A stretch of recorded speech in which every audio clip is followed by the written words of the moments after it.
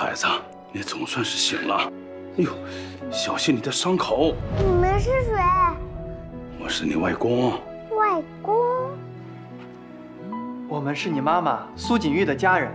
我是你大舅，这是你三舅，他是医生，刚刚给你做手术的就是他。噔噔噔噔，我是你二舅。苏宝，跟我们回家好不好？我不回家，回家阿姨和爸爸会生气，生气就会打苏宝。不是回妈妈的家，苏家。嗯，但是妈妈留给苏宝的玉佩还在阿姨那儿。舅舅带你去拿。三儿，你说说这该怎么办呢？谁能想到她就成为苏家的外孙女？什么？苏宝是苏家外孙女？